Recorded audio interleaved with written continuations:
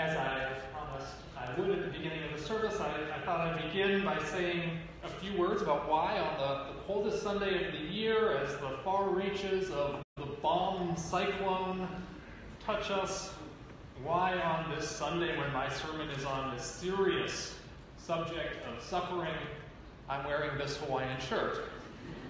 I want to, tell you just that I thought I'd digress just a little bit and tell you the story of how I came to, to have this Hawaiian shirt. Way back in my very first years of ministry, I served a church that was out on the Midwestern plains where the wind would whip and it would get really, really cold and there would be, you know, it felt like icy tundra.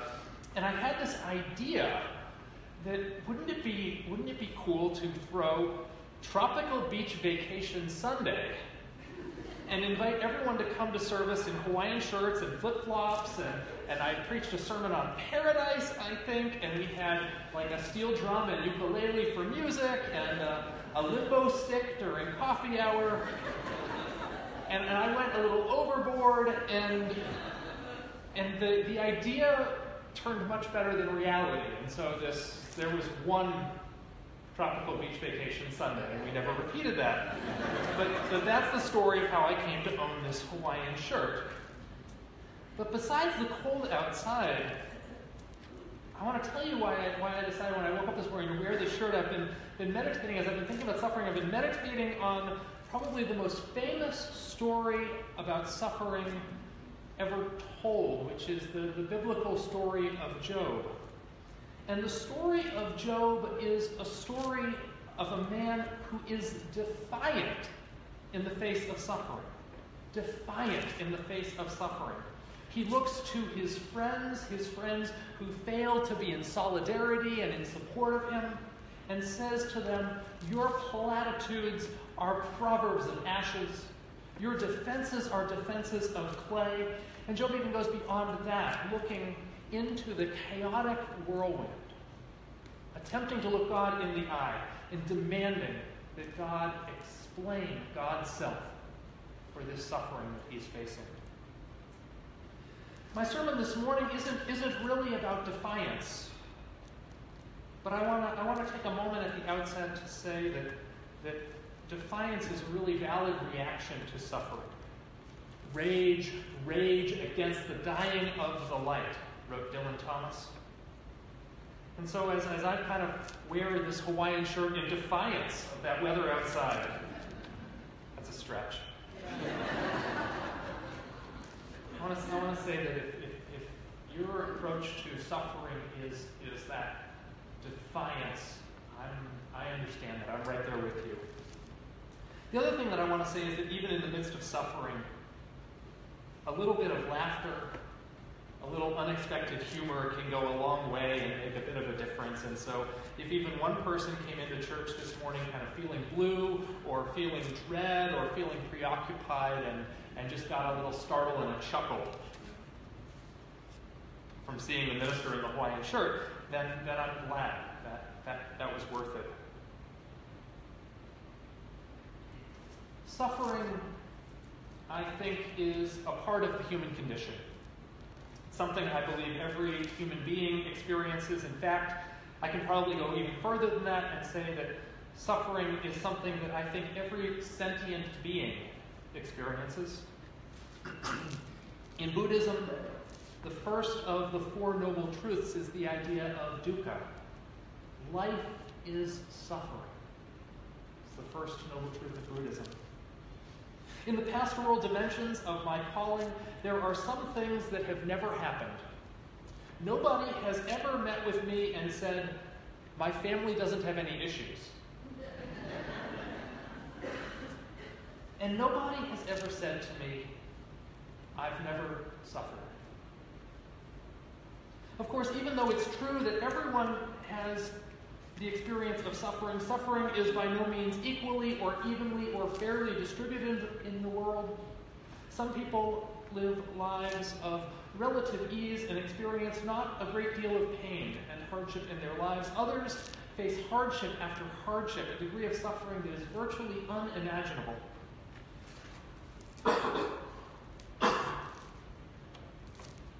Some people are wide open to the world with their suffering.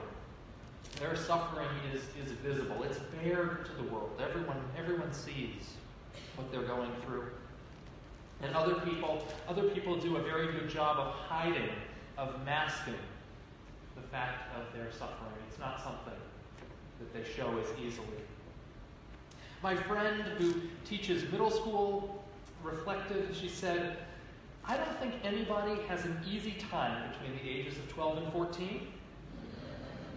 That's true whether you're the most popular kid in class or the loneliest social outcast. It's true whether you're the kid who gets straight A's or the kid who gets failing grades. Some struggle more than others, she says, of course. But I don't think anyone passes through that stage of life without some pain. I think that's true for the rest of the life as well. And of course, we also know that suffering is indifferent to notions of justice. Rabbi Harold Kushner famously asked, Why do bad things happen to good people? And the reverse is true. There are always people who seem to cause so much suffering, to wreak so much devastation and destruction, who spend their lives, it seems, hurting other people and yet never get what should be coming to them. Why do good things happen to bad people? One of the key roles of religion, of philosophy, even some, some parts of psychology, is to help us make sense of and make meaning out of suffering. Suffering is real. So what should we think about it? What should we, what should we think about what it means? One of the core theological problems that many religions have faced is the difficulty of reconciling an all powerful, omnipotent God with the suffering of innocent people. Rabbi Harold Kushner explored just this question in his classic book that came out nearly 40 years ago. Rabbi Kushner wrote a book entitled When Bad Things Happen to Good People. He wrote it following the death of his teenage son Aaron from a rare genetic disorder and as he was trying to make meaning of his loss. Kushner writes, I no longer hold God responsible for illnesses, accidents, and natural disasters because I realize that I gain little and I lose so much when I blame God for those things. I can worship a God who hates suffering but cannot eliminate it more easily than I can worship a God who chooses to make children suffer and die for whatever exalted reason. I find myself here, I'm, I'm in sympathy with Kushner. Kushner once said that if he had to put a religious bumper sticker on his car, his bumper sticker would read, My God is not cruel. My God is not cruel. I put that, I put that sticker on my car as well. Religion, of course, has also attempted to answer the question of the meaning of suffering in ways that are, that are more problematic. There was a book that came out a number of years ago by a pair of liberal religious theologians named Rebecca Parker and Rita Nakashima Brock. There's probably no book of theology. That book was called Proverbs of Ashes. There's no book of theology that has had a more profound impact on me than their book. Their book is a powerful critique of the idea of redemptive suffering. Redemptive suffering is an idea found in Christian theology that holds that Jesus saves us through his suffering and through his execution on the cross. In that way, Jesus' suffering is redemptive, it redeems humankind. And so, because this suffering is good, the logic goes, we might think that our own suffering is good for us. And because it's God who causes Jesus to suffer, to take the logic even further, sometimes it's good to hurt other people in order to help them. Parker and Brock are fearless in their critique, are fearless in their critique of this idea. They begin their book with a quote. The very first, the very first words in the book are a quote from a woman named Lucia, who had come to Rebecca Parker when, when she was serving in a church in search of pastoral counseling. And the book begins with Lucia's words. She says, Mostly my husband is a good man, but sometimes he becomes very angry and he hits me. He knocks me down. One time he broke my arm and I had to go to the hospital. I went to see a minister 20 years ago who gave me this advice. The minister said I should rejoice in my sufferings because they bring me closer to Jesus.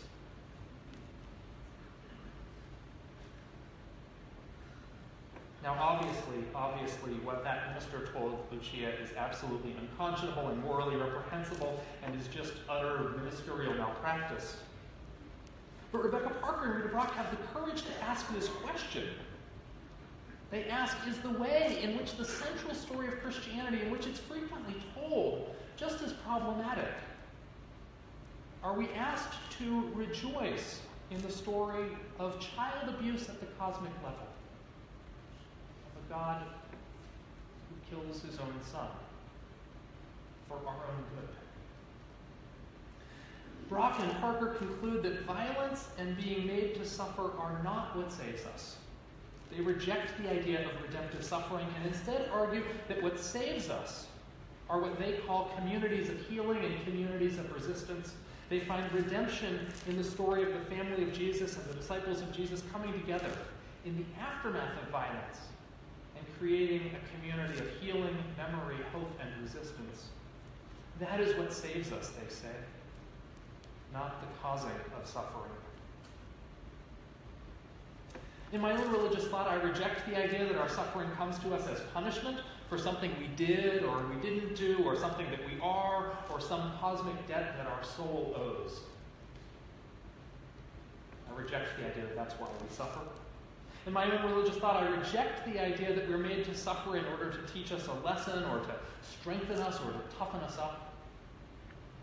That's not, that's not why suffering happens. And in my own religious thought, I reject the idea that we're caused to suffer out of love. I want to find meaning in suffering in some other way. Order to do that, I want to go off in just a little bit of a different direction and, and tell you a story and then come back at the end of the sermon. Every year in June, ah, June. Every year in June, when Unitarian Universalist ministers gather in the days before our denomination's General Assembly, my favorite time, my favorite time of being together one of my favorite things of the whole year is a service that we attend called the 2550 service. It's a worship service with two sermons, and, and being the church nerd that I am, I think a service with two sermons is lovely. But one sermon is always by a UU minister who's celebrating that year the 25th anniversary of their ordination, and then the other one is by a minister celebrating the 50th anniversary of their ordination. And, I always, I always just tear, ah, it, it gets, gets, me right in, gets me right in the feels, as the kids, as the kids say. And so this past June, I've been thinking about this for the, for the last half year. This past June, the 25 year sermon was given by my colleague Meg Riley. And she told this story that, that really struck me. It's a story that I can't possibly do justice to because she was so descriptive. And if you, if you want to watch it, I'll, I'll send you a link on how to watch it. But she told the story of a sermon that she gave way back you know, 26 years ago when she was a student minister. A sermon that flopped horribly. She was giving the sermon at a church in Boston uh, that is different from most Unitarian Universalist churches. It's a church that is that is, for one thing, triple yoked, affiliated with Unitarian Universalists, but also affiliated with the United Church of Christ and with a Baptist denomination. And it is a church whose membership, whose, whose membership and, and um, congregation is largely drawn from, majority drawn from the urban poor, from people living in poverty and then a lot of the people who come are part of um, are part of people who are in the in the recovery community, people who are kind of in the, in the midst of really actively battling addiction to drugs and alcohol. I guess there's a, um, there's a, there's a place that, uh, a recovery place right next door. So in the story that Meg Riley told us, she got up and preached a sermon that morning about her understanding of Jesus, and she said that what was important about Jesus' life was what he accomplished, the content of his teachings, and the courage of his ministry, and that Jesus' suffering was largely incidental to his life. The sermon bombed, of course, and Meg Riley talks in just vivid description about how badly she missed the audience and how people began walking out. And she actually said that the, the organist, the organist who usually plays throughout the service, actually got up and walked out during the service. I've had people walk out, but I've never had a music director walk out on walk out on me. So why do I why do I tell this story? Here's the thought that I've been, I've been thinking about that I took away from from Meg Riley's sermon last June, and probably the thought that, that led me to decide to preach on this topic this morning. I wonder, I wonder if there is a tendency in liberal theology, in liberal religious practice, and in the culture in which we swim to tell the story of our lives, to tell the story of our lives, to talk about meaning in our lives, largely in terms of our successes and our accomplishments and our competencies, to talk about, the tell the story of our lives in terms of degrees earned, awards awarded to us, positions held, acclaim received. And to treat suffering, to treat suffering as kind of this, this incidental thing to the story of our lives and something that we probably should be ashamed of, keep secret, don't talk about, deny, repress. And I wonder how our lives might be different if we flipped that script and treated our experience of suffering, that universal human experience of suffering, as having value and as much impact on our life as the successes and accomplishments and, and things that, that we kind of, kind of earn and are proud of. wonder what it would be like if we flipped that script and treated our own experience of suffering, that universal human experience of suffering, as having importance and value. In our responsive reading, Bill Schulz said, Every single one of us knows what it's like to bleed, and in one respect, pain is a gift because it cultivates our imagination. Without it, we would be far less likely to rail at deprivation or shrink from cruelty.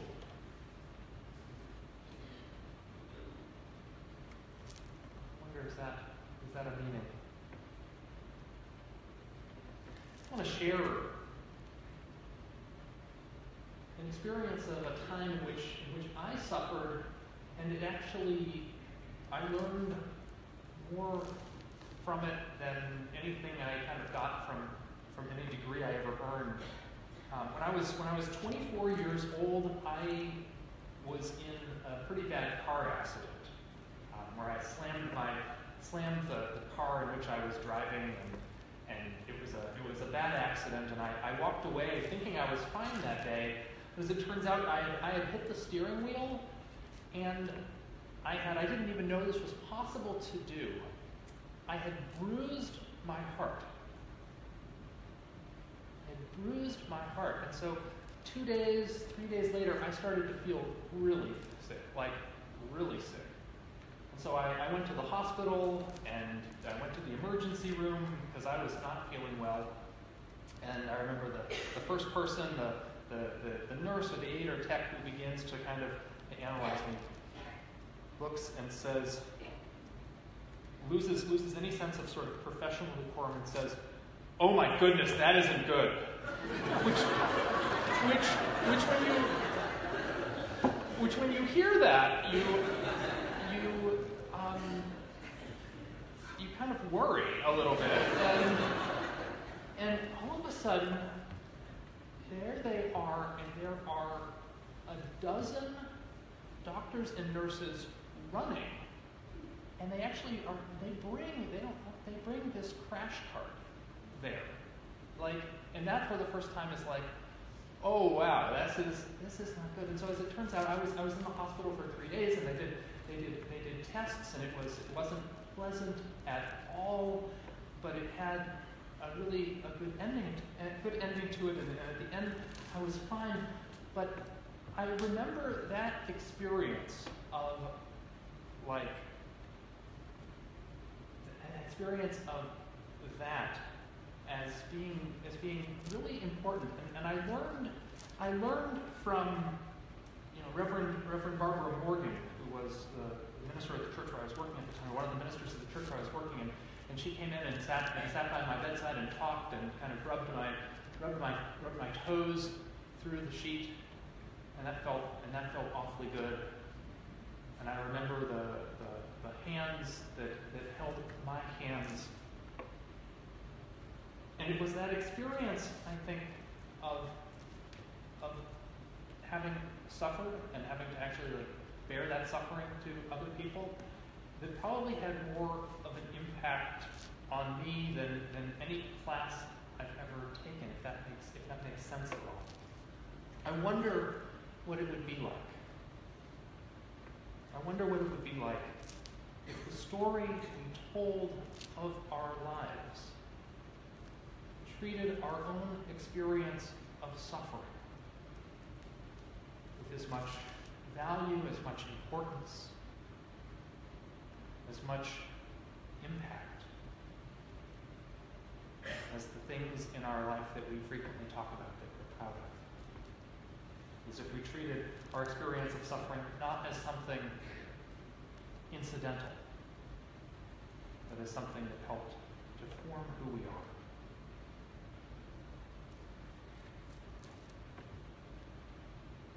Thanks for listening. Those are my reflections. Please stay for the congregational meeting and keep your teal hymnal with you at the congregational meeting because I think we're going to sing again then. But let's uh, close this service this morning in song. I invite you to rise in body or in spirit and join in singing our closing hymn this morning. There's a river flowing in my soul.